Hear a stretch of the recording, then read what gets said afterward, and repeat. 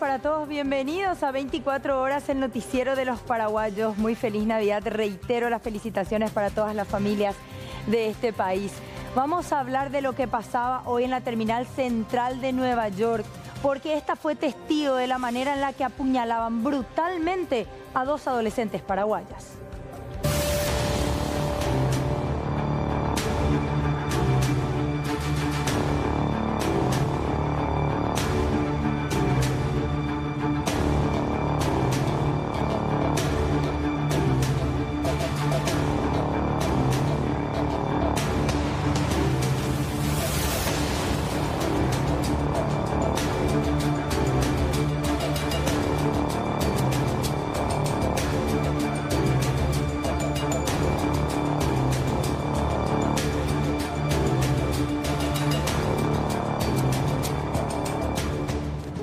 Pasado 26 de septiembre, Erico Galeano guardaba arresto domiciliario. Hoy obtuvo su libertad ambulatoria, alegando que necesita estar en contacto con la gente.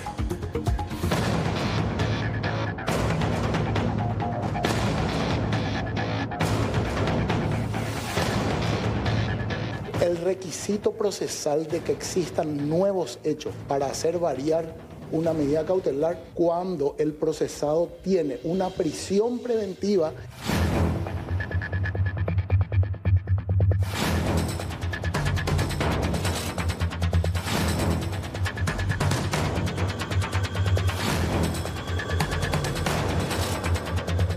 Y de la prisión preventiva queremos cambiar a una medida menos gravosa. De los barrios marginales hasta Europa, hoy hablamos de la ruta del cobre.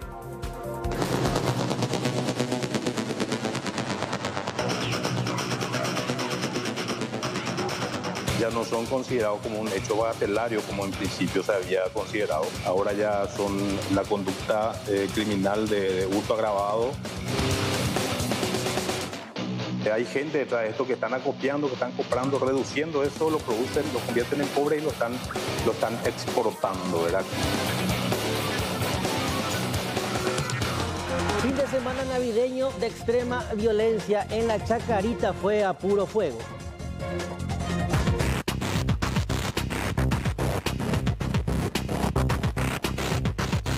Según eh, vecinos, eh, que eh, la supuesta víctima le había agredido anteriormente. Con la ingesta de bebida alcohólica seguramente se acordó de ese hecho y al, al cruzar por frente a su casa eh, le realizó los disparos. La víctima está en perfectas condiciones, recibió herida a la altura de la pantorrilla. Días bastante lluviosos, al fin la calma. El cielo está parcialmente nublado según la Dirección de Meteorología. La temperatura es de 29 grados 8 y tenemos viento del sur a 13 kilómetros en la hora.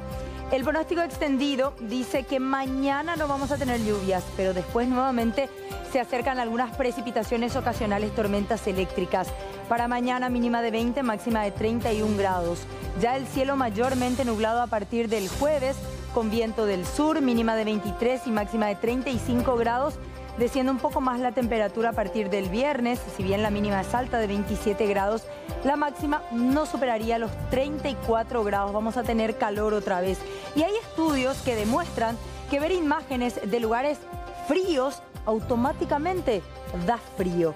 Y es por eso, y en eso se basa la nueva campaña de verano de Brahma, que busca ganarle al calor, esta vez psicológicamente.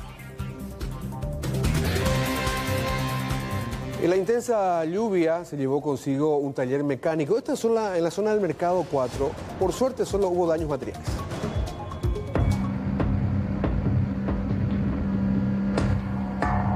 Impactantes imágenes de la forma en la cual quedó el taller de don Carlos Medina. Años de sacrificio pararon en el caudal del arroyo que cruza al costado de su taller de chapería y pintura. Una llamada alertó sobre lo ocurrido. La lluvia del día de Navidad por poco se lleva hasta vehículos de los clientes. Sí, había un vehículo. Por suerte eso no llegó. Para suerte del dueño también. Esto, eh, algo que ya pasó antes, eh, me comentaban algunas personas que ya se llegó a cargar inclusive de tierra. Llegamos a cargar ya una, dos veces por ahí ya llegamos a cargar, pero esta vez con esta lluvia que ayer fue muy grande por lo visto ya no aguantó más. ¿Hay posibilidad de cuantificar los daños, don Carlos? Y la verdad que no sé, herramientas lo que las herramientas que tenía por ahí, lo que se fue todo. El propietario explicó que las pérdidas son cuantiosas y que cerca de unos 100 millones de guaraníes serán necesarios para levantar un nuevo local. Pero todo pudo haber sido peor si es que uno de los trabajadores seguía su rutina laboral. Por suerte no estaba mi, el muchacho que trabaja conmigo suele quedarse acá y no, no estaba. Por suerte. Vemos acá la oficina que también se vino todo abajo, tenías documentos, otros artículos. No, la, verdad que allá, arriba tenemos los documentos, todas esas cosas y esta, esta parte es lo que más dañó, ¿verdad? Esta parte no, no llevó nada.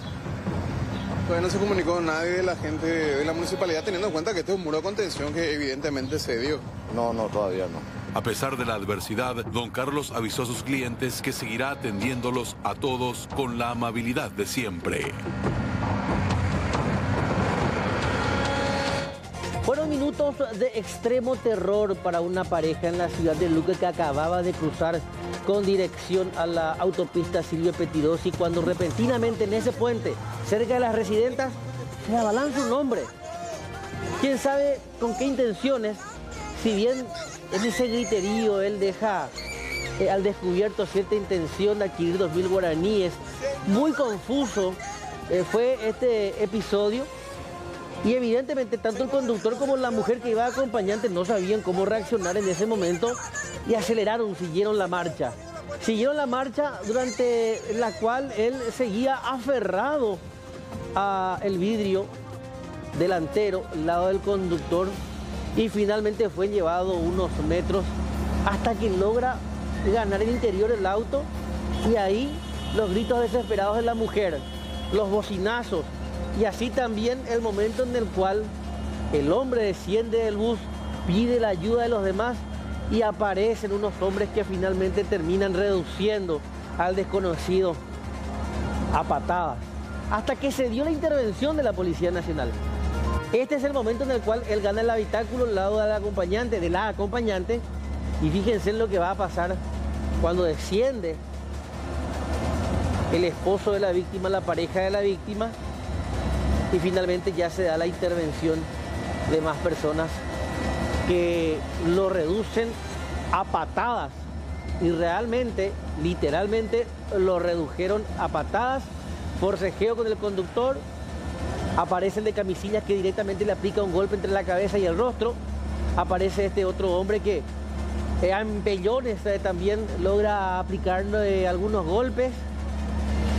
Y cada uno de ellos eh, que finalmente convierten la escena en una de extrema violencia.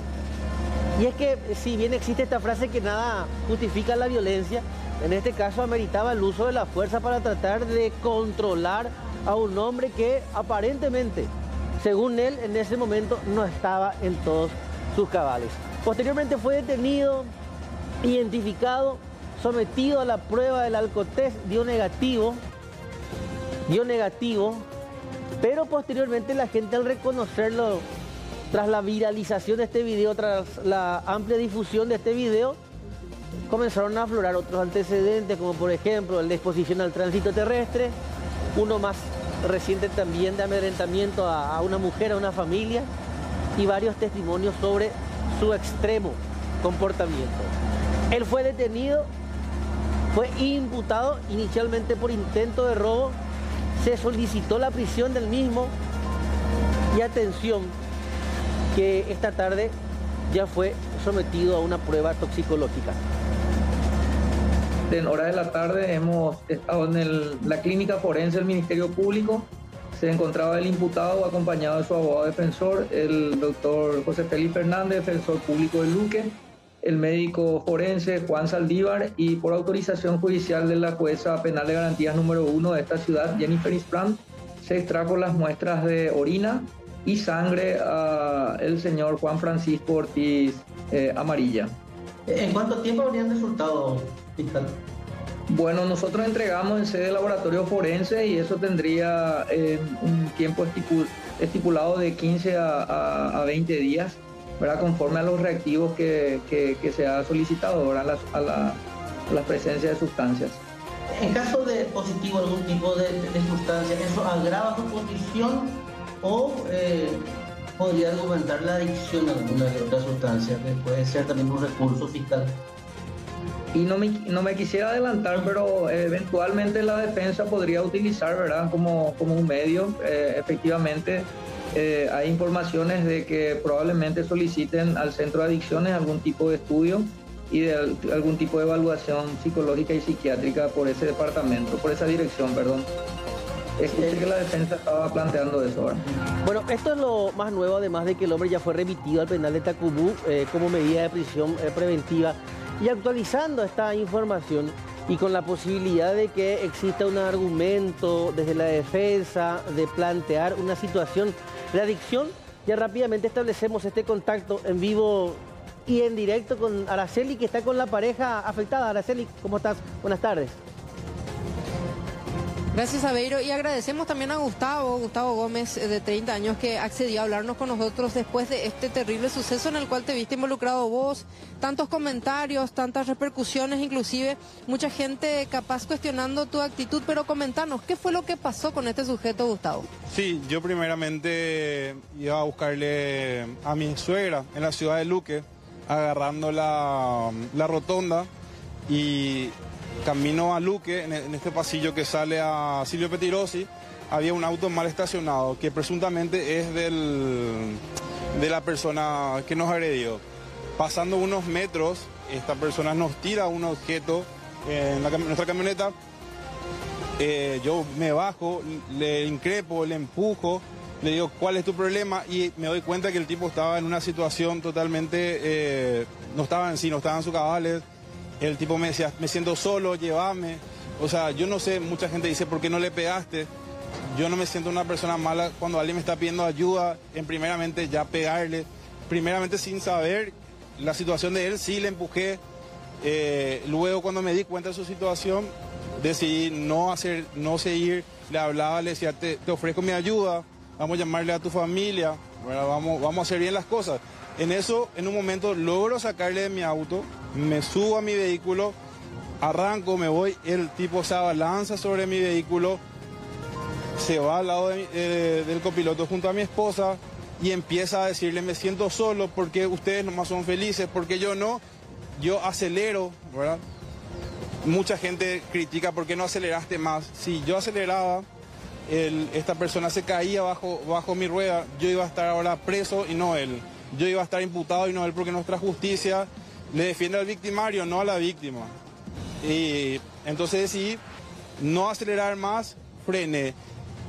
Cuando iba a reaccionar, cuando ya le iba a sacar al tipo de ahí, todos los demás, las demás personas ya le estaban pegando. Y yo no le veo el sentido de de repente pegarle a una persona que está drogada, que no, se, no, se, no te hace más hombre pegarlo, ¿no? A una persona que está drogada, tirada en el suelo. Ya no, no había sentido.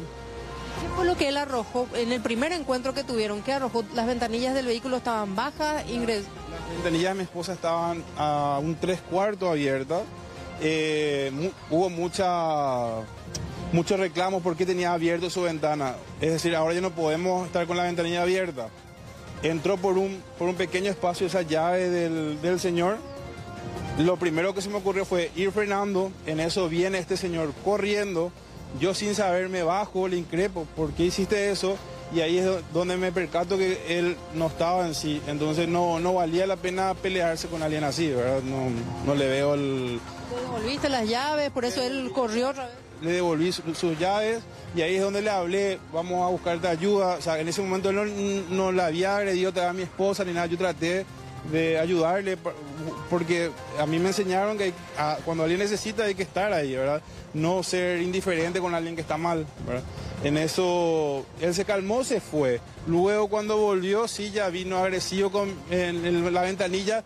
comenzó a grabar tu esposa. Ahí comenzó a grabar mi esposa y tampoco podía pegarle ni hacer nada manejando. Podíamos haber causado un accidente, había otros autos. Eh, en esa situación no, no se me ocurrió más nada que tapar la calle bajarme, a directamente eh, volver a atajarle y en eso ya todo el mundo ya le redujo al- al- a la persona ¿verdad? Que, que, un, que estaba en una situación, eh, como te digo, que no estaba en sus cabales. Es así. Han pasado 24 horas de esto, ¿cómo se quedaron en, en shock? En ese momento pues, pasaron tantas cosas por tu cabeza. Sí, más que nada mi, mi esposa estuvo muy mal esa noche, no quería salir. Ya ahora estamos más, más tranquilos. Eh, sabemos que el tipo eh, ya está, eh, creo que ya, ya, ya está en la co- comisaría, ya está en Tacumbú. lo importante es que no le liberen a esa persona antes de darle un, tratamiento. Si tiene un problema neurológico, darle un seguimiento. Si tiene un problema con las drogas, darle un seguimiento. No soltarle ya mañana a esa persona porque le puede, podía ser una señora embarazada, podía ser una señora joven sola. ¿Verdad? Eh, y así, ojalá que se pueda hacer justicia y que, que ojalá le ayuden al Señor a, a recapacitar, ¿verdad? Había vehículos enfrente de tuyo, por eso no aceleraste, te, te trataste de calmar un poco la situación con él, alrededor de usted había mucha gente. Cuando yo, tra- yo traté de irme, cuando, como te dije, cuando logro yo persuadirle a él sin los golpes que se vaya, traté de irme, luego él salta sobre mi vehículo y luego pasa a la ventanilla de mi esposa. En eso lo que yo no puedo pegarle a alguien cuando estoy manejando y tampoco puedo acelerar y que esa persona se caiga bajo mi rueda y luego ser, eh, tener en mi conciencia que le maté a alguien o, estar, eh, o pasar Navidad en la cárcel, porque en este país, por más que el otro te da algo, si vos te defendés muchas veces te, vas te vas preso hasta que se esclarezcan las cosas. Yo tengo hijos, eh, tengo familia, tengo una empresa que no puedo quedarme sin, sin trabajar, sin mantenerla a mi familia, entonces eh, frené, no aceleré y me bajé como para poder volver a solucionar la situación y en eso ya gracias, gracias también a la gente que vio, ¿verdad? Eh, le redujeron al, señor, ¿verdad? Es así. Comentando un poco, Gustavo, los momentos previos y lo que veíamos en las imágenes de estos videos, Alexis, de la audiencia, ya era el segundo encuentro con este sujeto. Ya en la primera ocasión él estuvo relatando lo que tuvieron que atravesar con, con este hombre.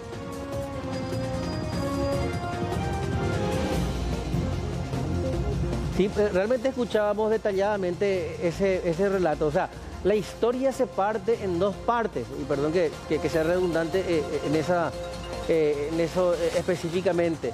Eh, ahora bien, algo que me llama la atención, ¿dónde comienza él a, a intentar e- establecer esa conexión con la pareja?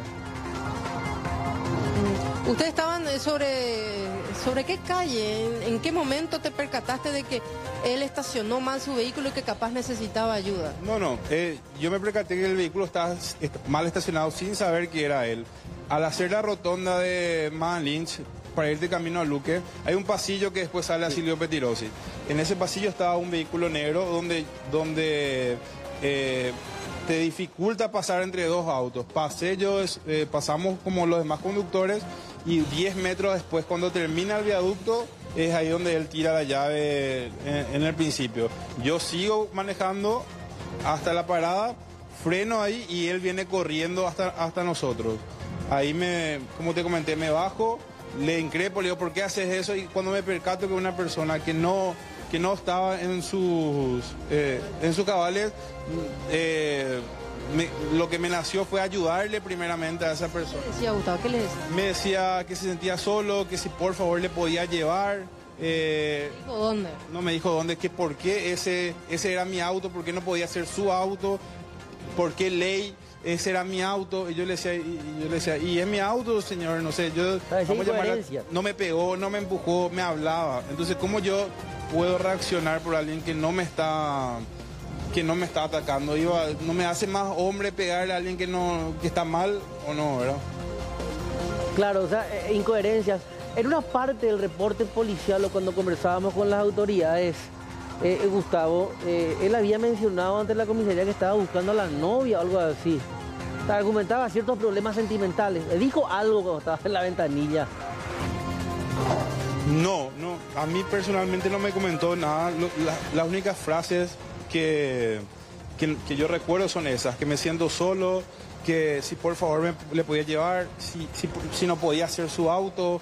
A mi esposa le dijo, eh, yo quiero ser feliz también como ustedes, ¿verdad? Hasta ahí sin agredirle a nadie, sin, sin hacer nada que amerite pegarle a una persona que está, que está mal, ¿verdad? No, no sé. Luego sí, al, al, momento de, de, que se colgó por mi auto y que le empezó a, querer bajar a mi señora del auto, sí, ya, ya se volvió agresivo, pero tampoco podía, como, como los comentarios dijeron, eh, ¿por qué no aceleró a 100? De vuelta, si yo hacía eso, yo iba a estar preso, ahora sí él se caía. si, te vas a guiar por, lo que dice la gente, realmente vas a hacer el malo de la película no, no, eh, claro, no, le, no le iba a dar. Si le pegaba, iba a ser por, qué le pegaste a alguien que estaba mal, ¿verdad? Eh, luego dijeron que era el amante de mi esposa, que le estaba buscando a mi esposa. Muchos comentarios y más nada por eso quise, acepté la, entrevista como para eh, decir, no le conocemos, nunca le vimos. No, no, no, no, sé por qué esto está, está así el señor, eh, así. ¿Cómo está tu esposa ahora después de todo esto? Porque es traumática la situación. Eh, hay, mucha exposición. Ah, ah, sí, hay mucha exposición. Ella personalmente no quería que demos entrevistas, no quería para, para proteger nuestra, nuestra identidad, pero como te digo, quise salir a aclarar que no le conocíamos al señor, que no le, pegué, no le pegué porque no me, no me hace más hombre pegarle a una persona que está drogada, que no me está haciendo daño, hasta el momento que sí empezó a violar mi privacidad al entrar en mi vehículo, ya fue tarde porque los demás también ya le estaban pegando. Y pegarle a un tipo que ya está, como le dije yo al, al fiscal, yo otra vez le defendí para que no le sigan pegando, porque este señor, ¿verdad? en su locura dijo que yo le pegué. Por suerte hay millones de videos y comentarios ¿verdad? Que, dicen que, no le pegué, ¿verdad? Pero el señor en su declaración dice que, yo le pegué. Y anteriormente, en la primer, el primer encuentro que tuve con él, sí le empujé, sí le, sí le, increpé, pero cuando me di cuenta que una persona que no está en su cabal, no me, no me nace eh, eh, pegarle a alguien así, no sé.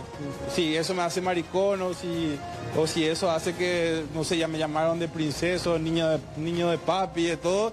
Si eso me hace, para mí me hace ser buena persona y, ya está, ¿verdad? Gustavo, gracias y mucha fuerza a, vos y al matrimonio porque fueron momentos muy difíciles. Gracias. Sí. Dale, muchas gracias. Hasta luego. Ahora, muchas gracias por este contacto. Muchas gracias. Dale. Gracias, Ara. Dale, dale, acá nos despedimos de él, ¿verdad? Porque se tiene que retirar. Está en la misma camioneta, ¿no? Hasta luego, Ale. Esa es la camioneta. Ahí está, esta es la camioneta, la misma camioneta, sí, la misma camioneta. 24 Ni un rasguño, ¿eh? A pesar de todo el ajetreo y que el hombre se colgó por, por la camioneta, ¿eh? Ahora, muchas gracias. Será hasta el próximo contacto. Hasta luego.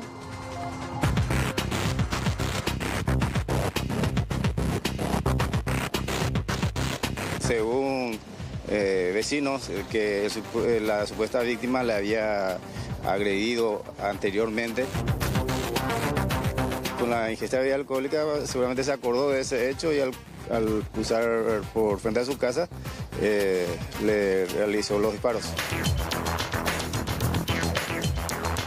La víctima está en perfectas condiciones, recibiría a la altura de la pantorrilla. Bueno, mucho debate acerca de cuáles son las vacunas que necesitamos hoy en día para viajar al exterior, especialmente a países de la región que tienen ciertas restricciones en cuanto a su sistema sanitario. En el caso de Brasil, que registra por lo menos en verano la mayor cantidad de visitantes eh, que provienen de nuestro país, tenemos que decir que ya es acostumbrado el pedido de la vacuna contra la fiebre amarilla. Esta vacuna en particular es una que se aplica una vez en la vida y que sirve ya de inmunidad para toda la vida prácticamente, es lo que dice Salud Pública. Mucha gente no está segura y se pone la dosis dos o tres veces.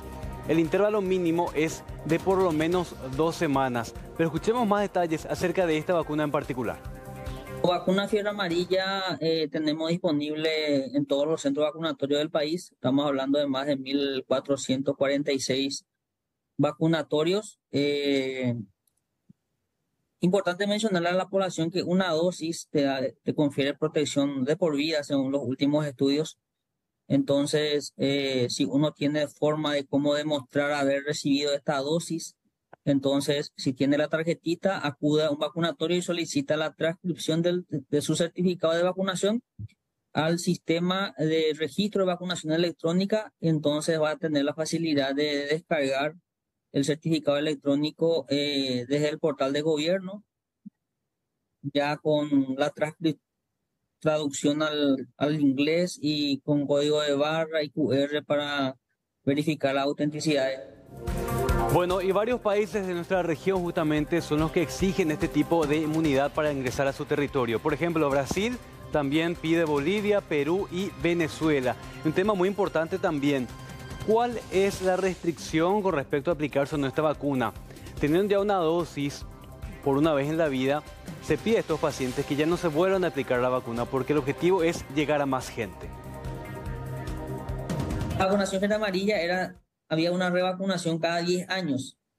Eh, si pasa un intervalo de, cuatro semanas, o sea, un mes, no había ningún problema.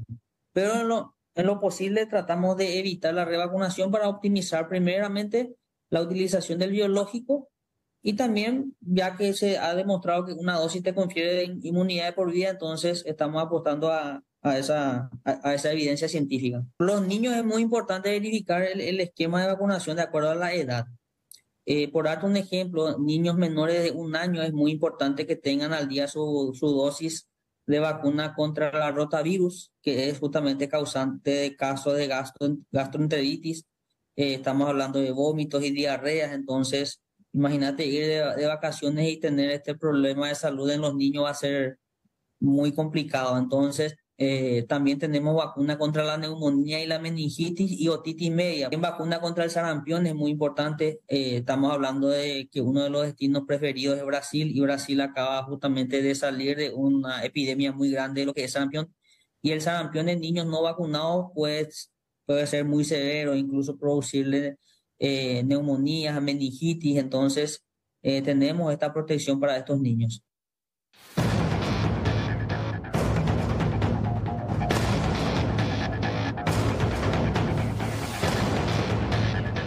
Requisito procesal de que existan nuevos hechos para hacer variar una medida cautelar cuando el procesado tiene una prisión preventiva.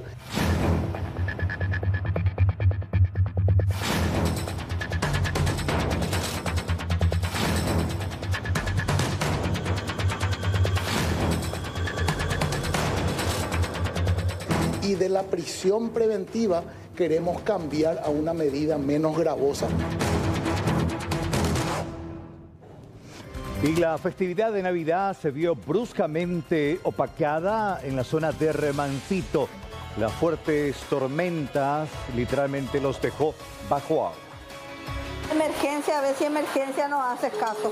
Vamos a ver si atiende un poco a emergencia. Hoy es 26 de diciembre, ahora es inundada con la lluvia, con la tormenta. En nuestras casas ya está entrando todo, agua por todos lados. Necesitamos ayuda, por favor. Suena y suena y suena. Sigue sonando. Esta llamada es gratuita. Esta llamada es gratuita. Por favor, intentar nuevamente en unos instantes. Ahí está vamos a estar mejor. Ya vamos a estar mejor.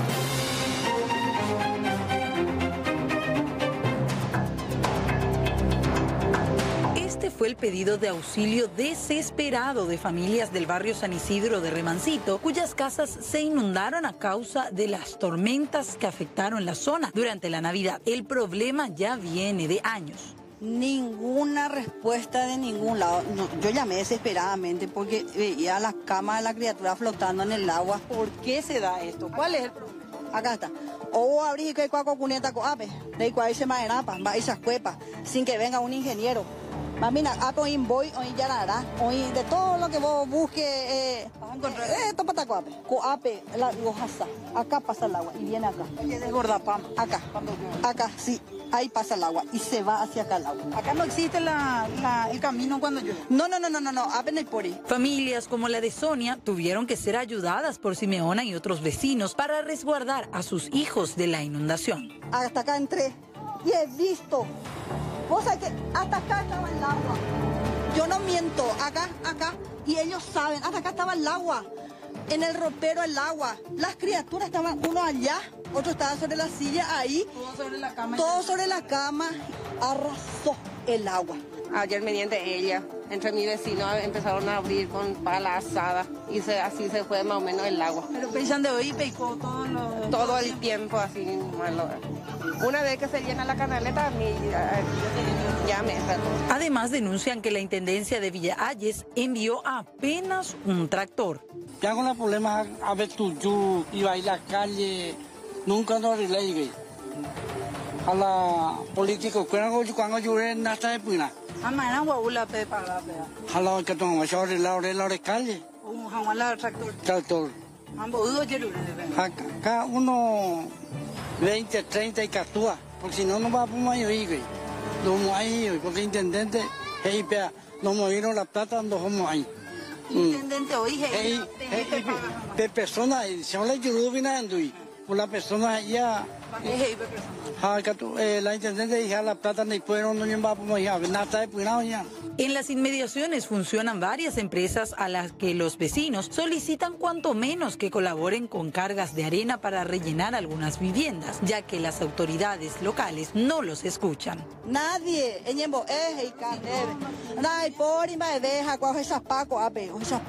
a los señores intendentes, concejales, cuera penderoga, pepe que pa, bajo lujo, bajo aire, me va todo protegido. Jamina la Moria Juroga, dice Baico, es en pleno Navidad.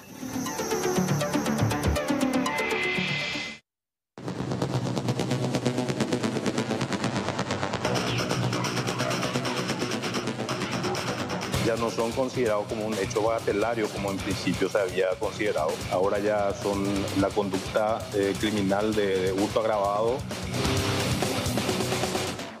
hay gente detrás de esto que están acopiando, que están comprando, reduciendo eso, lo producen, lo convierten en pobre y lo están, lo están exportando, ¿verdad?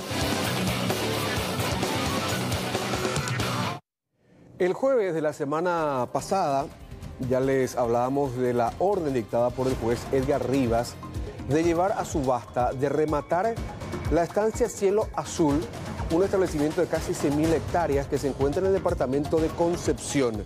La propiedad pertenece, según la Fiscalía, al jefe narco Luis Carlos Darrocha, alias Cabeza Branca.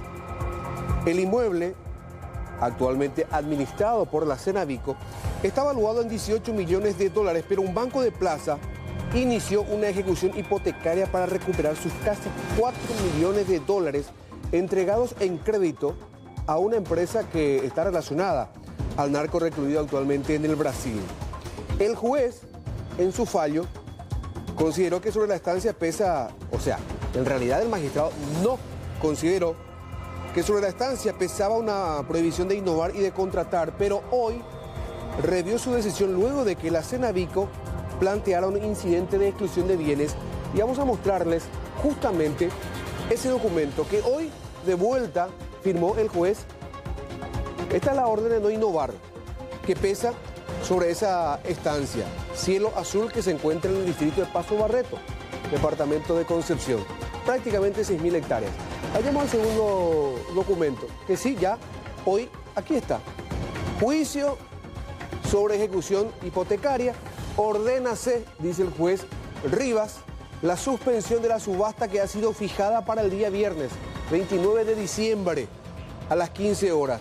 ¿Por qué levanta, deja sin efecto esta orden de remate. ¿Por qué suspende? Debido al incidente de exclusión de bienes deducido por Cenavico, cuyo asesor jurídico decía que una vez comisado este inmueble, valioso por cierto, en favor del Estado, y una vez que se proceda a su venta, el banco que le dio este millonario crédito a la organización liderada supuestamente por Cabeza Blanca va a recuperar su dinero. Nosotros entendemos obviamente que el tercero tiene interés en recuperar su deuda, pero es una situación bastante delicada por la que atraviesan tanto estos bienes como las causas penales, especialmente la complejidad que requiere justamente una investigación de lavado de dinero. Y, y, nosotros en nuestro juicio también nos hemos presentado con las mismas manifestaciones y otros juzgados sí, evidentemente, han decidido, eh, digamos, posponer la continuidad de, eso, de esas ejecuciones hasta tanto se decía en el ámbito penal si es que esos bienes van a ser comisados o devueltos, digamos, a sus deudores, ¿verdad?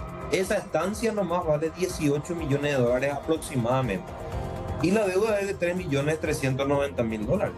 Ahí tenemos que recordar que según nuestro ordenamiento jurídico, en caso de que no haya, por ejemplo, postores de una subasta en el ámbito civil, eh, el inmueble se adjudica en su totalidad por el valor de la deuda a, al acreedor. Es decir, que eh, ahí acordate un poco que, yo te había dicho de que se había hecho un edicto de remate con la, con la observación de que ese bien no iba a poderse disponer. Es decir, ya se eliminan muchísimos postores. Y hablando precisamente del comiso de bienes pertenecientes a integrantes de organizaciones criminales, tenemos que hablar ahora de Darío Messer y de su hijo Dan Wolf, porque hoy terminó el juicio para justamente que el Estado se hiciera cargo, se hiciera dueño de todas estas pertenencias de los Messer. Por unanimidad, un tribunal de sentencia compuesto por Claudia Criccioni, Yolanda Morel y Jesús Riera ordenó el comiso de los bienes pertenecientes a los Messer, a Darío y a su hijo Dan Wolf. Y de esta manera, el Estado se hace, se convierte en dueño de las empresas Matrix, Realty SA, Chai SA y Pegasus Inversiones, además de hacerse dueño de una aeronave, de acciones, valores, cabezas de ganado por al menos 150 millones de dólares.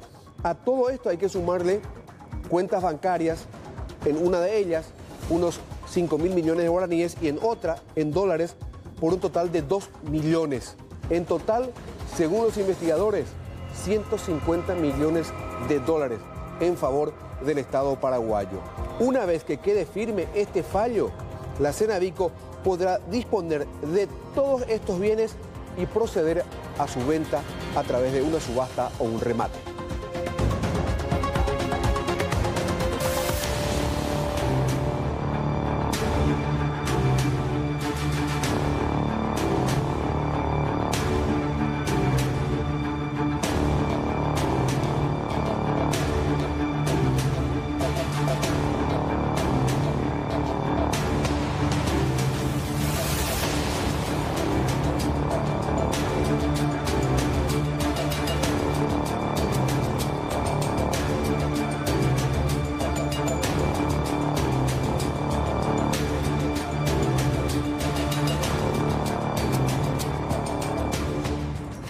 Últimas en las que registramos muchos hechos de, delincuencia, robos, atracos, hurtos. Ahora uno más en el este del país. Elba nos cuenta los detalles. ¿Cómo te va? Buenas tardes, Mercedes. Muchos hechos de robos. En este caso, los delincuentes se apoderaron de los surtidores en el Alto Paraná. El primer caso fue un hurto millonario en Hernandarias, cuando un delincuente ingresó por la ventanilla del local de, de un surtidor y se llevó aproximadamente 160 millones de guaraníes.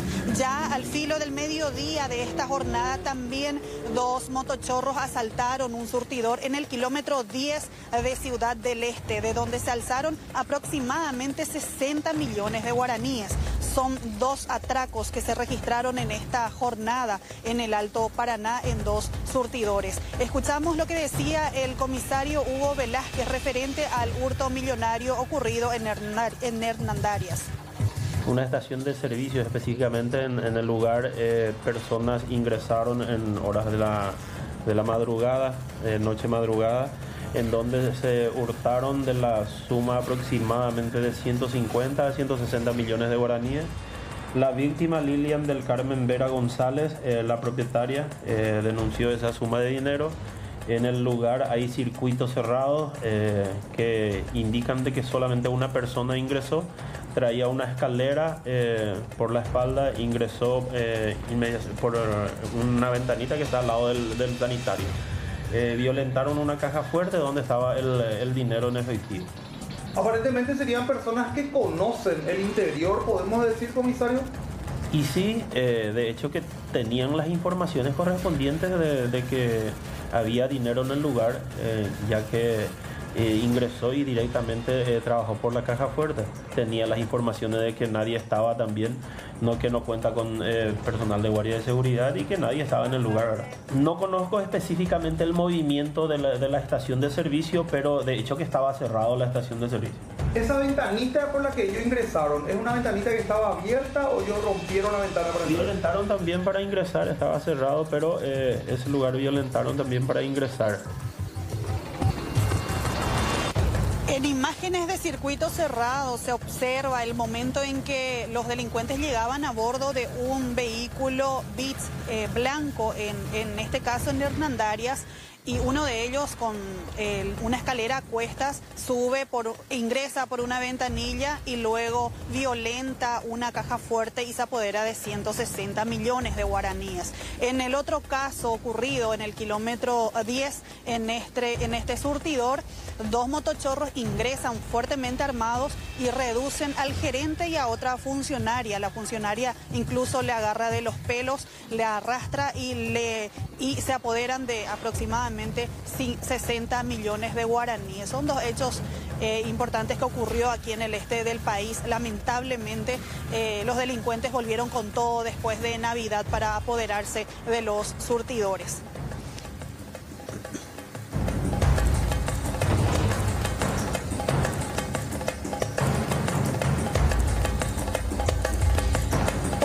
Parte, tenemos un caso de piratas del asfalto ocurrido ya en horas de la tarde de esta jornada en el kilómetro 20 de Mingaguazú, específicamente sobre la ruta 2.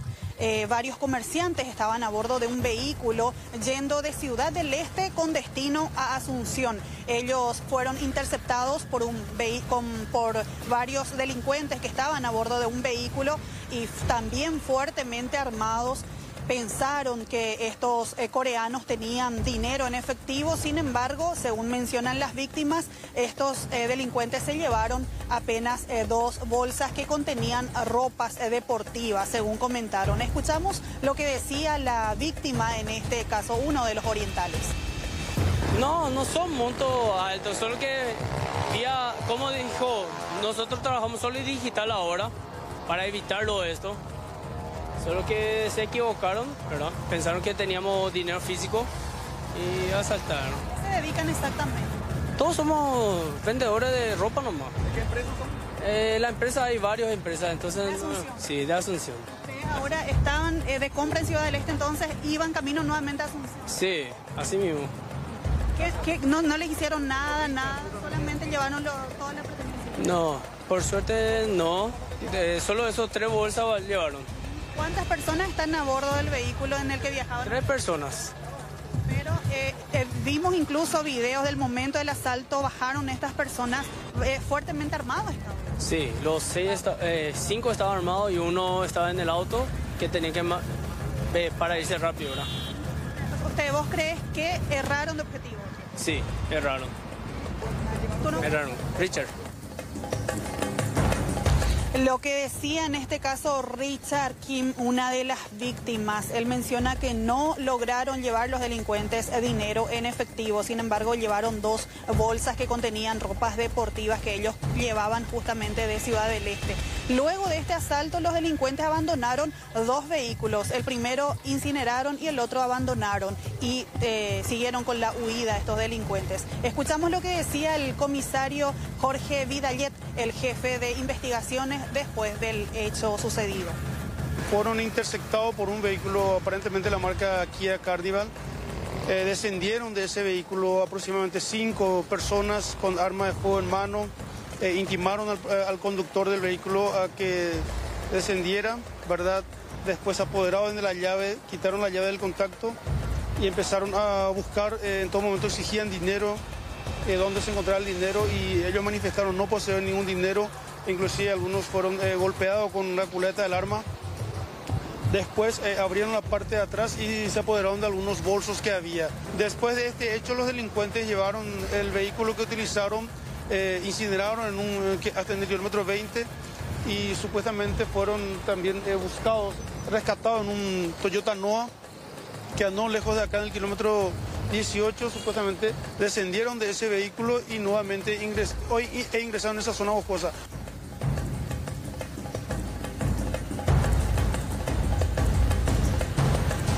Lo que decía el comisario Jorge Vidallet, en este caso el jefe de investigaciones, luego de este atraco, digamos, fallido por parte de los delincuentes que realmente actuaron con mucha aparatosidad en contra de estos comerciantes coreanos que estaban trabajando, vinieron a llevar mercaderías de Ciudad del Este a Asunción.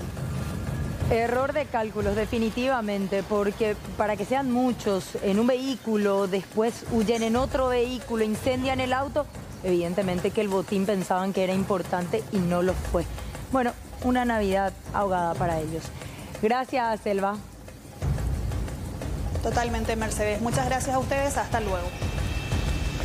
La Navidad se tiñó de sangre en el Alto Paraná. Por ejemplo, en la zona de Itacre, una mujer indígena fue atacada a puñaladas por su ex concubino. Falleció, mientras que en Puerto Indio otra mujer fue atacada por su concubino y tuvo que pedir auxilio a la policía. Que el autor fue su, su concubino.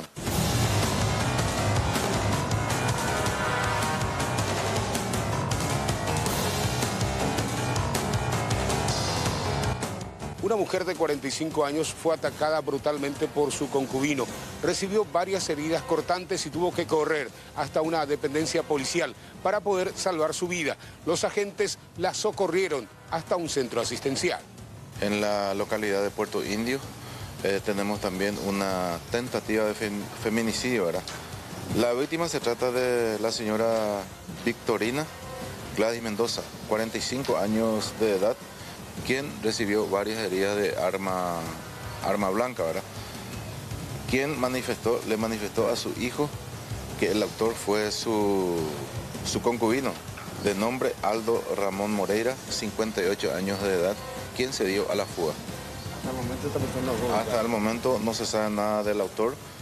La víctima fue auxiliada por sus familiares y vecinos hasta la comisaría de Puerto Indio, eh, en donde eh, los intervinientes lo trasladaron hasta el centro asistencial de Baracayú. Durante la Nochebuena, un hecho de feminicidio ocurrió en una comunidad indígena. La Policía Nacional recibió el reporte del asesinato de una joven de 33 años en mano de su expareja, quien tras cometer el hecho intentó fugarse, pero fue detenido. Tuvimos un caso de feminicidio en la ciudad de Itacurú, del casco urbano 20 kilómetros aproximadamente en una comunidad indígena. Se trata de, en este caso la víctima, se trata de Ana Bella Duarte, de 32 años de edad, quien acusó una herida producida por arma blanca, tipo cuchillo carnicero en este caso según los intervinientes, ¿verdad? En la parte posterior del tórax, quien le causó la muerte. La víctima fue socorrida por sus familiares hasta un centro asistencial. Las circunstancias se desconoce cómo se dio esta situación.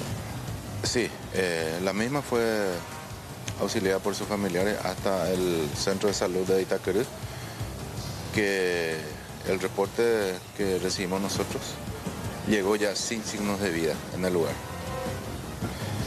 El, actor en este caso se, se trata de su ex concubino, de nombre y de Lynn Portillo Esquivel, de 33 años de edad. El, motivo o la causa no, no se sabe. Los números de víctimas de feminicidios van en aumento en el Alto Paraná.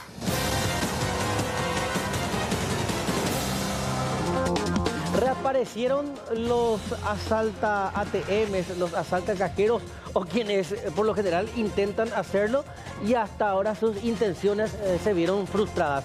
Supermercado ubicado en Fernando de la Mora, zona norte. Específicamente sobre la avenida Mariscal López, una zona muy concurrida. No era muy tarde el domingo, no era de madrugada. Eh, de hecho, ni siquiera eh, habíamos iniciado otro día, todavía seguía siendo el feriado 25 cuando a bordo de una camioneta de la marca Kia Sportage llegaban los delincuentes. Cuatro aparentemente descendieron. Se escuchó una explosión y después se escucharon masazos. Rápidamente se logró dar aviso a la Policía Nacional y esta intervino. Recibimos la alerta a través del sistema 911 las 22 horas aproximadamente inmediatamente personal motociclista eh, se constituyó al lugar y eh, conversó con un encargado del local que le manifestó que escuchó un- una explosión prácticamente en el lugar y ellos observaron que se rompió en este caso la puerta de blinde de- del lateral que, se encuentra por la puerta lateral y, intentaron eh, violentar el, cajero que, que está en el lugar. Tres sujetos, eh, según manifestación de personas que estaban en las inmediaciones, que llegaron en el lugar a bordo de una camioneta Kia tipo Sportage, color negro. ¿Ataron el cajero o no llegaron a atar? No llegaron, no llegaron a atar el cajero. eh, presumimos nosotros que llegaron con mazo e intentaron eh, violentar el cajero. Y al sonar la alarma, en este caso eh, que, que hay en el lugar, ellos optaron en retirarse rápidamente de la zona. O sea que no iban a tirar sino romper el cajero. Eso es lo que... Eh, presumimos nosotros con, con- con la manifestación de, que, que recibimos de parte de personas que, que observaron el hecho y nos dijeron que ellos a- al sonar la alarma inmediatamente abordaron la camioneta y se retiraron del lugar. Y a propósito de cajeros, Mercedes Almada, de un intento de robo, vamos a un simple vandalismo. Madrugada, mañana del 25. Después de haber tomado... Del 24, del 24. ¿sí? Después de haber tomado unos cuantos No empezaron tragos... temprano, o sea, empezaron, fíjate que es el 24 y eh, 5.46 de la mañana porque estaba... Ah, Domingo, domingo, de, ma- de mañana. No, del 24 del sábado, víspera de Nochebuena. Domingo. Y el domingo. Ah, domingo. Ah, perdón. perdón, perdón, perdón, perdón. Sí. Parece que hubo Ya una tengo dudas quién fue el que consumió. Pero Claro. obviamente estaban volviendo de una noche de muchos tragos, ya zigzagueando, ¿verdad? Porque uno inclusive caminaba al costado de la ruta y de onda, Alexis, mira, de onda. De onda, Reventó este, el vidrio templado. Vidrio templado. El vidrio templado. Que estaba abierta la puerta, evidentemente. De un cajero automático que está en un local comercial ahí. Eh, Vemos que es una planta Una distribuidora tienda de de gas, conveniencia. una tienda de conveniencia que aparentemente o estaba cerrada o no estaba el guardia ahí, porque es de las tiendas de 24 horas. Pero por lo general esas no tienen guardia. Y ahí se va directo una patada que revienta. Bajo la atenta mirada de sus amigotes. Y ¿verdad? se ríen, ¿eh? Claro, porque Sí. era como una picardía para ellos. Sí se ríen, eh, lo toman como una aventura, eh, lo toman como... No, pero apenas caminaban. Eh, Uno atajaba al otro. Sí. ¿Será que Sí, le pero- dijo, te desafío que vayas a patear, no lo vas a hacer?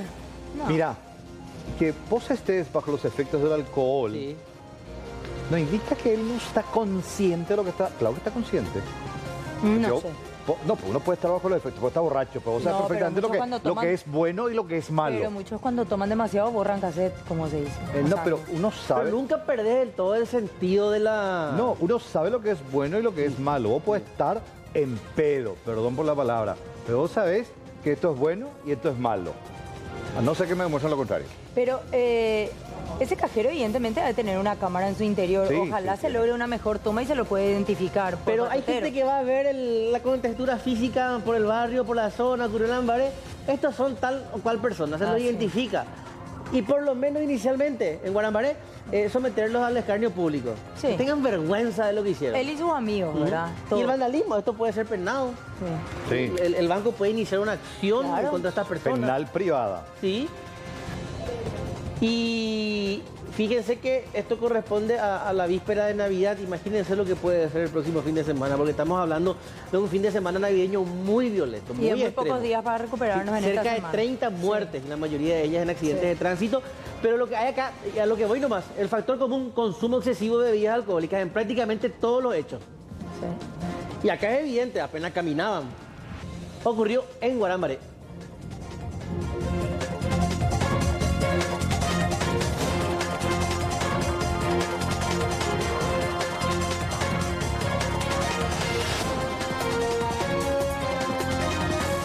Y este fin de semana también se destapaba un secreto a voces que ya muchas personas manejaban, pero muy pocos se animaban a anunciar. Estamos hablando de la cantidad de niños y adolescentes indígenas que eran víctimas de prosenetismo y de todo tipo de abusos, principalmente en la zona de la terminal.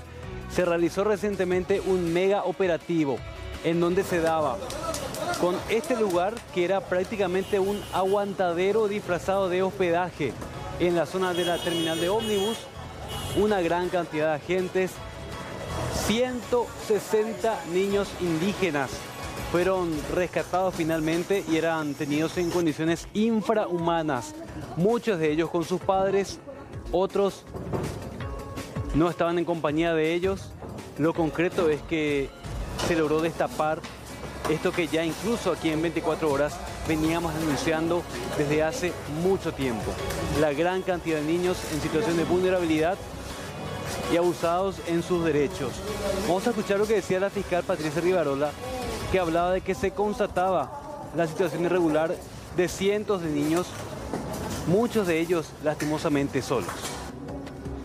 En este operativo, eh, bueno, eh, según informes eh, que habíamos recibido, reportes de la Policía Nacional por parte del Ministerio Público, estamos constatando la situación irregular en la que se encuentran en situación de riesgo niños que tienen, digamos que muchos están acompañados de sus padres, muchos no, y son, digamos, de pueblos, de pueblos indígenas y entonces es preocupación sobre todo el Ministerio Público porque es una de nuestras misiones también.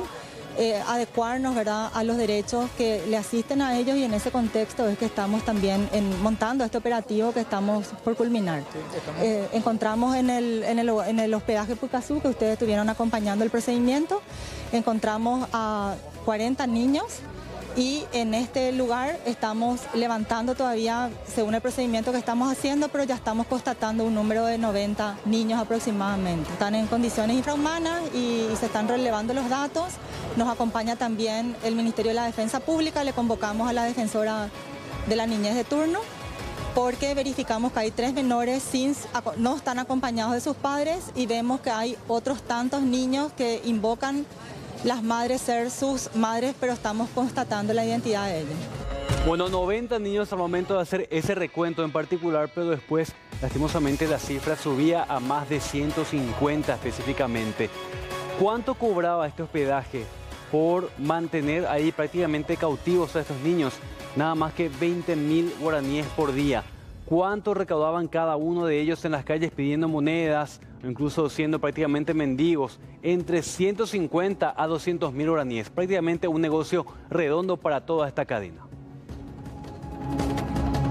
Quienes ingresaban no se chequeaba si estaban niños, eh, no, se, no se controlaba si, había, si eran padres, hijos, no se controlaba tampoco era eh, el tiempo de estadía, eh, tampoco se, aparte del todo el tema tributario, lo que es la habilitación formal, ¿verdad? era, yo les digo, yo te digo Rolando, era, era terrible, ¿verdad? Había muchos niños chiquititos, de muy, de muy corta edad, y eso son lo que vemos justamente en los semáforos, y es altamente rentable. Porque por más que vos le ingreses a un programa social, por ejemplo a Tecopona eh, o, a, otro tipo de programa, eso es 350 mil por mes, ¿verdad? que es lo que más o menos Tecopona te da. Y ahí vos juntás, estos chicos, o estas esta familias juntan por niño más o menos 150 mil por día.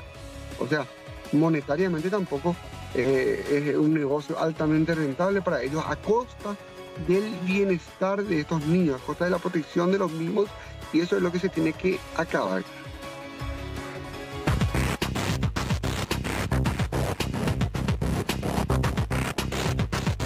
Según eh, vecinos, que la supuesta víctima le había agredido anteriormente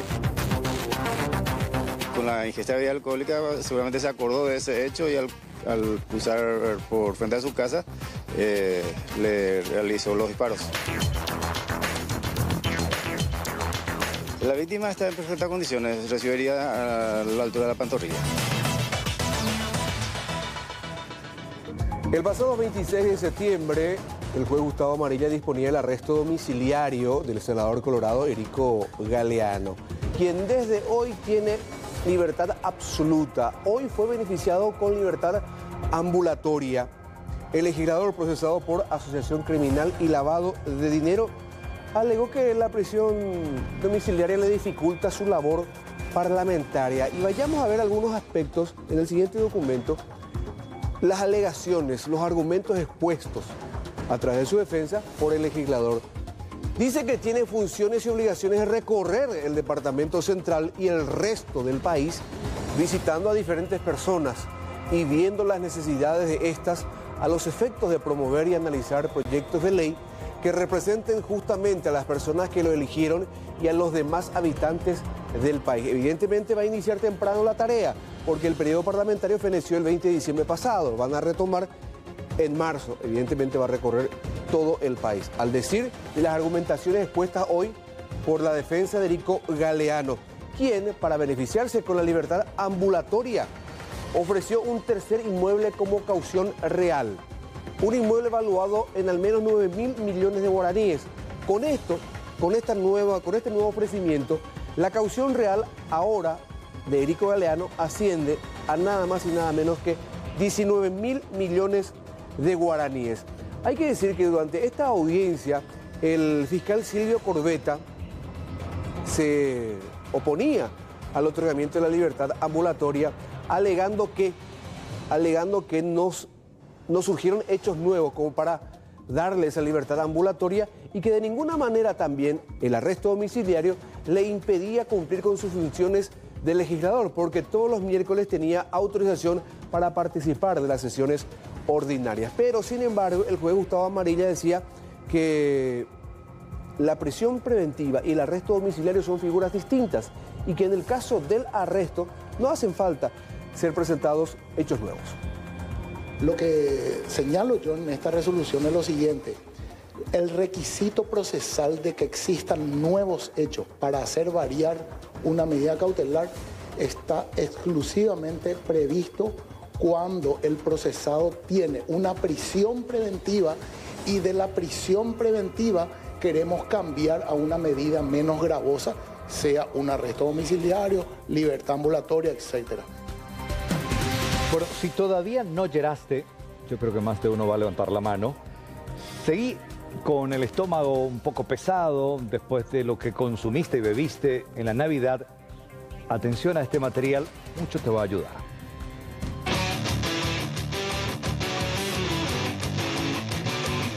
Estamos en este operativo llorador después de las fiestas, el fin de semana largo y de comer tanto recalentado. Vamos a averiguar cuáles son los yuyos para poder enfrentar esta semana y por supuesto empezar el 2024 con todas las energías. Lo que más se lleva son los diuréticos. Más quieren echar todo lo que se comió, lo que, lo que se tomó, entonces se lleva más diurético. Por ejemplo, el capicatín, la salsa parrilla, el bocayaí. Esos son cola de caballo también, lo que más se llevan para el, para el llorador. Y llevan un poco de jengibre también como para activar un poquito, para tener un poquito más de, vamos a decirle que de, fuerza, porque vienen todo medio cangue después de la fiesta. ¿Cuál es tu combo llorador? Tenemos uña de gato, jengibre, eh, Santa Lucía, varias cosas son que llevo pero voy a usar más tarde. ¿Y por qué elegiste esas hierbas? y son refrescantes para mí. Eh, que nada antes suelo usar, suelo poner en mi, mi Hay la semilla de hinojo, hay también el eneldo y después los refrescantes que son estos. La menta y, ¿verdad? Eh, menta y, Paraguay, burrito, no tengo más nomás ahora. Ya vendí todo. ¿Se lleva todito? Todito se llevó hoy. Lo que se puede llevar ya para, refrescar, si es que no encuentran los, remedios refrescantes, el azafrán. El azafrán es muy bueno, ese no hace falta ni machacar ni que esté. Se lleva así en bolsita, le pones a tu agua y es un remedio refrescante. Y para el estómago, para hacer la limpieza, para si, no te, si te cayó mal la comida, le puedes llevar el poleo y la, el charruaca y la hierba de lucero, que es muy bueno para el estómago, para componer el estómago y para limpiar todo lo que comiste mal en estos días y para tener ya también para Año Nuevo. Por ejemplo, para los niños hay un yuyo que es especial que se llama hierba del pollo. Ese es un yuyo que es luego para los niños. Por ejemplo, para cuando tienen algún empacho, eh, si le afectó, por ejemplo, la leche, ya desde bebé, ese pueden usar, eh, que es la hierba del pollo y también la manzanilla, que es muy bueno. Ese le limpia todo el estómago. El anís, el eneldo y la manzanilla es un tanto muy, vamos a decirle que son muy eh, más sencillos, que no son tan fuertes como para lo que la gente normalmente necesita. Eso es más, por ejemplo, cuando tenés un poquito de acidez, un poco de gases, entonces el anís el eneldo va bien, el boldo, la manzanilla. Pero si es ya, por ejemplo, te cayó mal alguna comida, tenés un dolor muy fuerte en el estómago, ya hay yuyos mucho más fuertes para, para esa ocasión, por ejemplo. ¿Cuáles serían esos yuyos más fuertes? Y por ejemplo la yurubeba, yaguapetén, el ajenjo y el yaguareteca, que es especial para eso, pero que son mucho más fuertes. Así, por ejemplo, es 5.000 guaraníes. Un ejemplo. Así 12. Y si es por unidad, sí que es a 1.000 guaraníes. cada uno. Conviene más por docena a veces porque eh, dura más, alguno machaca y hace ya hielo también. Prepara ya el hielo. Para el tereré pantano. Para tereré especialmente. Así mismo es. Y por ejemplo, para el tereré tenés a partir de 2.000, 3.000 guaraníes surtiditos. Y después lo que son los paquetes que son para el estómago tenés desde 5.000. Las personas que quieran sumarse a este operativo llorador y por supuesto recibir el 2024 con todas las energías de los Yuyos pueden acercarse justamente al Paseo de los Yuyos ubicado en la avenida Petirosi de 5 de la mañana a 5 de la tarde.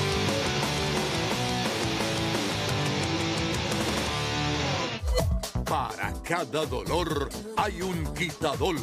Ello Pushupe Quitadol presenta los datos del tiempo. Compartimos en este momento una noche calurosa, la temperatura es de 26 grados 8, el cielo está nublado, pero tenemos viento del sur a 9 kilómetros en la hora. Vamos a ver el pronóstico extendido porque según la Dirección de Meteorología vamos a tener precipitaciones acercándonos al fin de semana. Mañana, el único día de la semana que vamos a tener sin lluvias nuevamente, al igual que hoy, mínima de 20, máxima de 31 grados. Y el jueves y viernes, ocasionales tormentas eléctricas, al igual que el sábado y el domingo, para que vayan adelantando. La máxima no va a superar los 35 grados. Para cada dolor hay un quitadol. Quitadol presentó bueno, mucha atención con esta información que les vamos a contar porque lastimosamente Paraguay exporta un material robado. Estamos hablando de la ruta del cobre. ¿Dónde nace todo esto? Con estos innumerables casos de robos de cables. Empezaba con la costanera, se extendió por los bañados, por zonas de San Lorenzo, Luque, Fernando de la Mora, que son ciudades que registran la mayor cantidad de robos. ¿Y dónde termina? Enseguida les contamos. Esta gran cantidad de casos ahora está teniendo sus derivaciones, porque hace poco hablábamos con la asesoría jurídica de Copaco y decía que ahora se va a tomar una nueva determinación en cuanto al procesamiento de estas personas. Hubo por lo menos 40 detenidos. Vamos a ver las placas justamente en las últimas semanas. 40 detenidos y de estos 16 ya fueron procesados y se va a estar eh, procesándolo justamente camino al juicio oral y la Telefónica Estatal va a pedir un resarcimiento económico a estas personas después de los enormes daños. 41.000 afectados, principalmente gente que dejó de tener línea baja de un día para el otro y cuyo servicio ya comunica a la compañía paraguaya de comunicaciones. No se va a reponer debido a que es un despropósito seguir comprando cables para que posteriormente sean robados.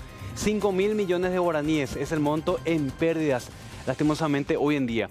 Estos 16 están siendo procesados y van camino al juicio oral. Vamos a ver la ruta del cobre. ¿Desde dónde sale principalmente? Desde el departamento central y vean dónde va a parar. Información que recibimos hoy en nuestra redacción hablan de que esto va en la frontera seca con Brasil y el destino final de estos camiones que transportan este tipo de materiales. Vamos a pleno, por favor, para que la gente pueda apreciar mejor. Es San Paulo. ¿Qué hay en San Paulo? Hay un gran centro de acopio de cobre reciclado. ¿Qué hace Brasil con este cobre reciclado? Lo vuelve a exportar a las grandes industrias, principalmente europeas, que tienen otros propósitos. Acopiar cobre porque hoy en día es el material a nivel mundial de mayor demanda para la fabricación de vehículos eléctricos y otras piezas muy importantes. ¿Qué hay en la frontera seca con Brasil? Vamos a ver lo que encontramos en la frontera entre Pindotú y Sete Quedas, que es territorio brasileño. Es una frontera seca con nulos controles. El área de Pindotú específicamente incluye pocas cuadras, mientras que el territorio brasileño tiene a una gran ciudad con un desarrollo importante en comparación a las prácticamente seis cuadras a la redonda que incluye el territorio paraguayo. Pindotú Porá versus Sete Quedas. que es el punto de acceso del cobre paraguayo robado gran parte en el departamento central y en otras importantes ciudades del país y que posteriormente se exporta. ¿A dónde va a parar esto? Vamos a hablar de las industrias brasileñas. La demanda mundial es la más alta de la historia en cuanto al cobre. Chile, Perú y Brasil son los mayores proveedores de cobre reciclado a nivel mundial. El mayor productor europeo de lo que hacen la acopiación del tema del cobre tiene su sede en Hamburgo, Alemania. Es un metal muy duradero y conduce la electricidad de manera muy eficiente. Vamos a ver rápidamente la composición de las baterías de autos. Los vehículos eléctricos llevan una gran batería, es como una caja los que estamos viendo ahí adentro, en cuyo interior existen pequeños paneles y pequeñas baterías justamente que dan vida al vehículo eléctrico. Las sedes de la batería son las carcasas con aluminio, en primer lugar, que es este primer material que vamos a ver, en primer lugar aluminio. En segundo lugar, cobre. También un material llamado cátodo, que está hecho de litio. Y a esto se suma el ánodo, que está hecho de carbono. Así se componen las baterías y recordemos que hay muchos países y muchas marcas de fabricantes de vehículos que tienen una meta del 2030 a 2040 de llegar a la emisión cero, de tener vehículos completamente amigables con el medio ambiente, de tener muy poca emisión en cuanto a los hidrocarburos, pero nos hacemos la pregunta, ¿a qué costo lastimosamente? Vamos a hablar de la industria automotriz. Los vehículos eléctricos requieren cuatro veces más cobre que los de motor a combustión. Muchos fabricantes tienen esta meta. ¿Cuál es el costo? Acelerar la producción de vehículos cero emisión que requieren de baterías con cobre. Hoy en día la discusión que se da a nivel eléctrico, del auto eléctrico, ¿cuál es la calidad de las baterías? Y hay una carrera mundial por proveer los mejores materiales y los mejores componentes de estas baterías. Hoy en día China ostenta el 70% del proceso de refinado de estos materiales, pero a nivel mundial. ¿Y por qué les contamos todo esto? Porque mientras aquí hablamos de robos de cables que nos dejan sin energía eléctrica en la costanera, en los barrios, que nos dejan sin línea telefónica, muchos países se encargan de reciclar el cobre que en muchos casos es robado, que Paraguay exporta y que posteriormente llega a las grandes fábricas, por ejemplo, de Alemania, donde se encuentra la mayor acopiadora específicamente en el puerto de Hamburgo. Vamos a ver nuevamente la ruta del cobre, esta placa que les estábamos preparando para reiterar esta información. Las ciudades más afectadas por el robo de cables en el departamento central son Asunción, Luque, San Lorenzo, Villa Elisa, Lambaré y Fernando de la Mora. Ahí va por la frontera seca, específicamente por Setequedas, y la ciudad paraguaya de Pindo Triporá y va a parar a San Paulo. ¿Cuál es la estrategia que va a implementar Copaco en el año 2024? Vamos a ver el proyecto 2024. Se va a migrar a fibra óptica. Ese es el proyecto principal que busca desalentar con esto el robo de cables. Vamos a escuchar lo que dice Copaco acerca del procesamiento que se da a los infractores. Ya no son considerados como un hecho bagatelario como en principio se había considerado ahora ya son eh, eh, subsumidos en, la conducta eh, criminal de, hurto agravado y la de perturbación a las instalaciones telefónicas. Esto último a nosotros Copaco nos permite cuantificar los daños ocasionados ya sea por la perturbación o por el hurto de los, de los elementos y materiales de Copaco. Entonces, con eso podemos respaldar una posible compensación o una indemnización o reposición de, lo, de los daños ocasionados. De, los tantos que tenemos son eh, personas que han, se han, eh, han procedido al, hurto, se han ocupado de, robar los cables, de hurtar los cables ¿verdad? y venderlos a, a terceras personas. Bueno, vamos a hablar también de lo que tiene que ver con esta mega investigación que se da a nivel internacional acerca de los infractores y sobre todo los responsables de esta ruta del cobre. Uno si piensa que va a enviar materiales a territorio brasileño, las dos rutas principales son la ruta 2 y la 3. Mucha gente se pregunta cómo es que ninguna autoridad paraguaya en cuanto a policía, aduanas o toda la cadena que debe cuidar esto no se da cuenta de qué es lo que transportan estos grandes camiones que terminan llevando el material robado en Paraguay hasta San Paulo por un lado y posteriormente esto tiene destino al continente europeo. Es un secreto a voces, pero que se está investigando. quiero mantener esa postura de reservarme ciertos comentarios. Esto ha, a pedido y a criterio del Ministerio Público, ya que se está realizando una investigación mucho más profunda que, que sí eh, hace razón suficiente a que, a que la gente que están en situación de necesidad, por decir sin que eso justifique el actuar, el accionar de, la, de quienes hurtan nuestros cables o dañan nuestras instalaciones. Eh, hay gente detrás de esto que están acopiando, que están comprando, reduciendo eso, lo producen, lo convierten en cobre y lo están, lo están exportando, ¿verdad? Cuando en un tiempo, como decíamos ya un tiempo, Paraguay importaba cobre, ahora está exportando, ¿verdad? Y, el destino sí son países de la región, especialmente Brasil, y vuelvo a reiterar que no, no, quiero dar muchos detalles sobre esto porque de eso está encargando el Ministerio Público. Vamos a seguir hablando de este tema durante toda esta semana debido a que en Chile que es el país que más produce cobre a nivel mundial, las afecciones en la salud en los pueblos que están muy cerca de las minas de cobre son alarmantes. Crece el número de casos de cáncer de pulmón, de cáncer de riñón también y otro tipo de afecciones debido a que no se cuenta específicamente con, con los cuidados necesarios en cuanto al medio ambiente ante la exposición de los seres humanos a estos materiales. Así que mucho ojo porque esto no termina nada más en los robos bagatelarios ni en la persecución penal, sino también en una grave afección en la salud. Estamos viendo uno de los allanamientos más recientes. Esta investigación también está detrás de las chatarrerías que tienen esos carteles que dicen compro cobre. ¿A cuánto se maneja el cobre en cuanto al kilo? 40 mil y 70 mil guaraníes por kilo. Podemos hablar lastimosamente hoy de material de exportación, desde el Departamento Central hasta las grandes fábricas de Europa de forma irregular.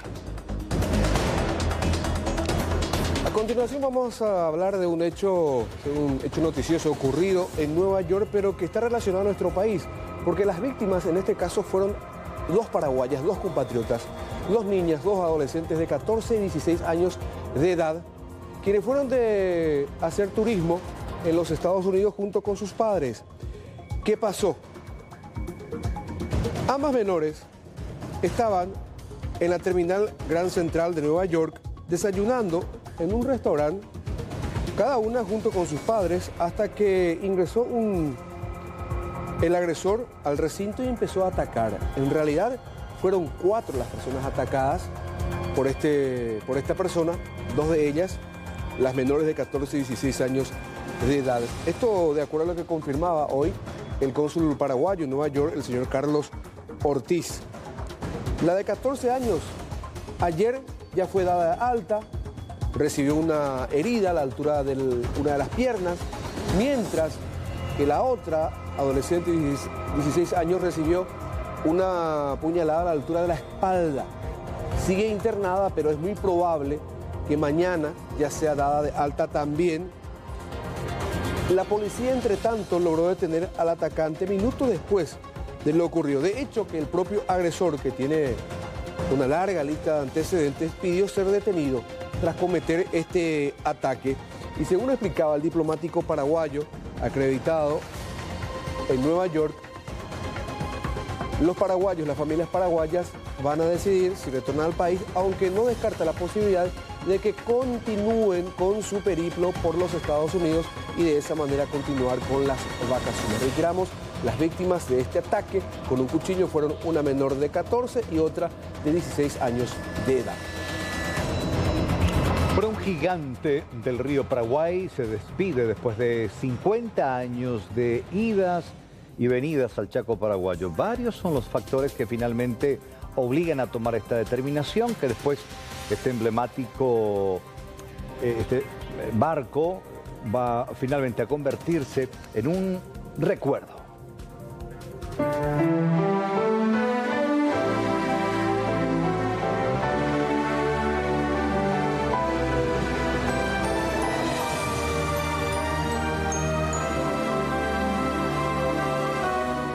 50 años de viaje al Chaco paraguayo por aguas del río Paraguay para finalmente levantar el pañuelo del adiós. La emblemática embarcación Aquidabán ya no surcará su ruta habitual, dejando huérfanos a cientos de personas que esperaban con ansias embarcar en su interior para llegar a destino. El motivo, aunque doloroso, es bastante real Para los dueños de la empresa ya no es rentable mantener operativa la embarcación debido a que existen otras vías más rápidas para la población chaqueña, aseguran.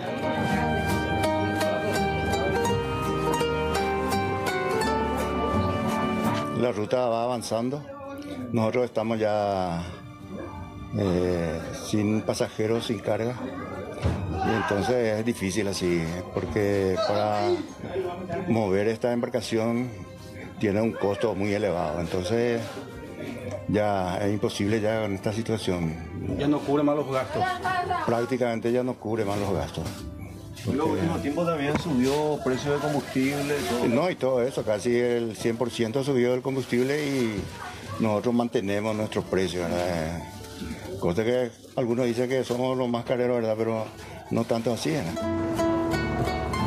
El Aquidabán era el único que llegaba hasta Bahía Negra. Pasajeros y vendedores ambulantes mencionan que esta decisión representa sin dudas una enorme pérdida y se ven afectados en demasía. No me medio y la tapere. todo tiempo? Sí, avión no y de vez en cuando y por no llevar el tiempo, ¿verdad? Sí. De una u otra forma, entonces pendiente y cuando viaja Sí, claro, tú ya, todo. Va a ver viaje seguro, ¿verdad? Seguro, ve. Apello joven en mercadería, digo, sí, claro, así es. Miles de historias nacieron en estos pasillos que hoy ya no volverán a ver la vera de Bahía Negra. Doña Amaro Irala dejó en esta embarcación 30 décadas de su vida. 30 años. 30 años, sí. Ah, toda la semana de Yujareo. No, hay viaje, viaje con a puta. Esto de vacación. Eh, sí. Bueno, Jaco, van a anunciar la último viaje. La yala. ¿Va a ir la yala? Hasta el 26 de diciembre, último. Después. Está la está sin trabajo allá. Sí, está. Entre más o menos las revendedoras me doña Amelia. Eh, 10 rupias, 10. 10 rupias, ah, sí. Adelante trabajo le coge tú, Ah, vender mercería, fruta, de todo un poco. ¿Ya vende por la tú, eh, Más o menos, para salvar. Sí. El trabajo. ¿Eres de cliente de ella? Sí, Areco. Mm. Ella, por ella, Amelia. Ah, pues hace el rancho, pues. El conocido como Mercado Flotante del Paraguay tiene una capacidad para 100 pasajeros y 10 toneladas de carga. A pesar de toda esta capacidad, la historia llega penosamente a su fin.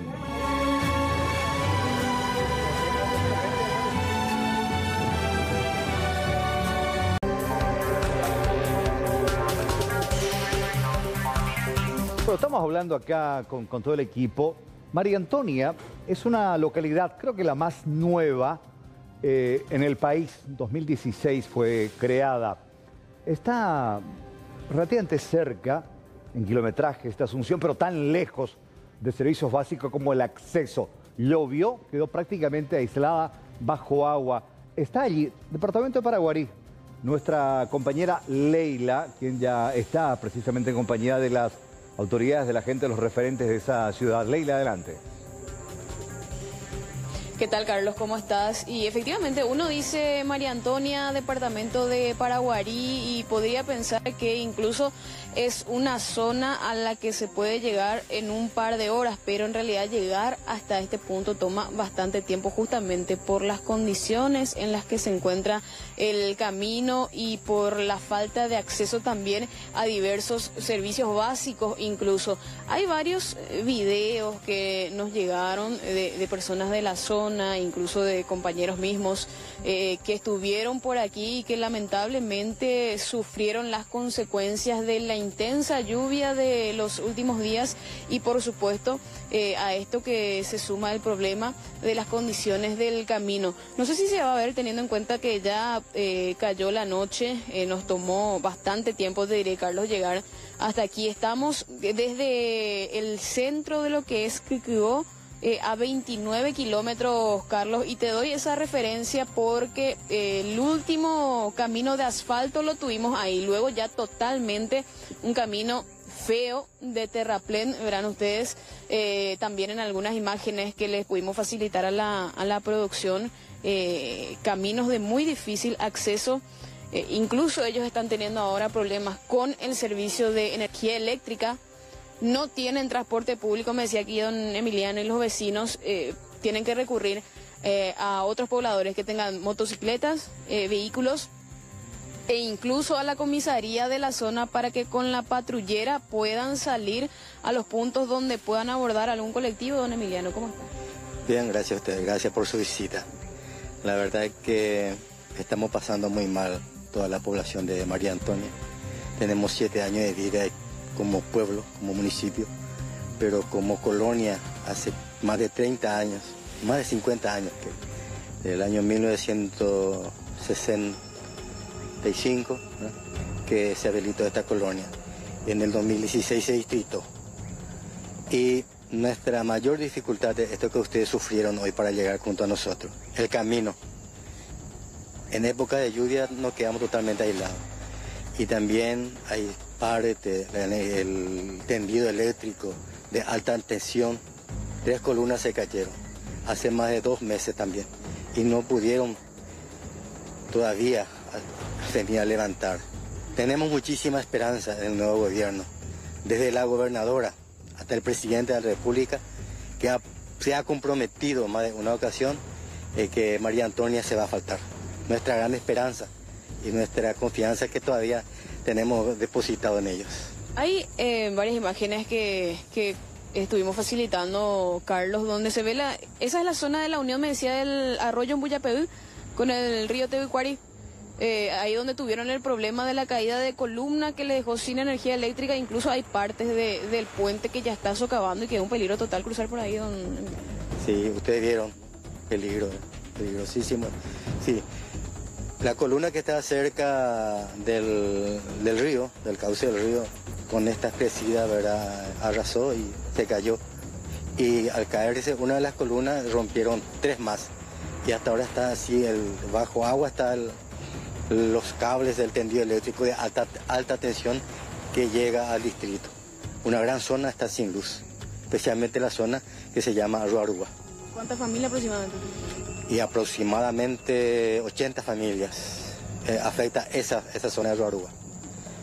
Y el, el, camino afecta a más de 1.500 familias que vivimos en esta zona.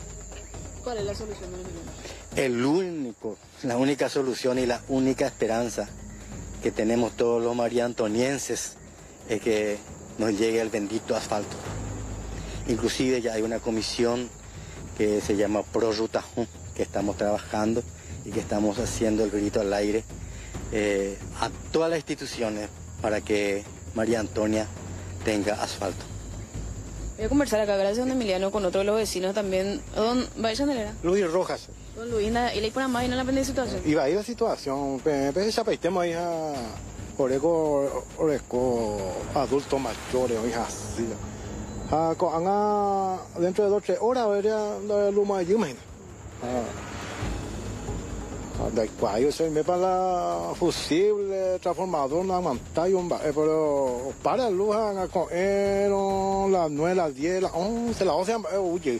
O sea, o cinco horas peor con la energía eléctrica tuve la pijar pues, porque como la ingesa y con ese ya hay cabe va pijar pues, ah, taña tiene que tu este a la tapea tu ves esa peitema situación para mí y la hora caso. Lo de colectivo ver motoario y organizamos mitad gracias gracias ahí está la, la situación de los vecinos, eh, algunos de ellos, bueno, actuando como voceros en nombre de toda la comunidad, Carlos.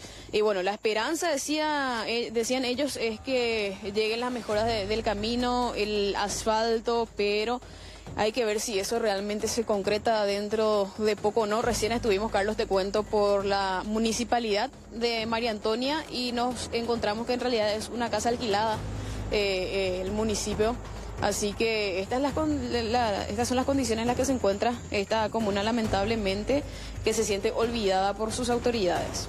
Bueno, lo único que luce en este momento precisamente es allí la imagen del nombre de la ciudad, porque a espaldas tuyas, si nos permitís ver, creo que la oscuridad gana con todo las calles allí de esta Nobel ciudad.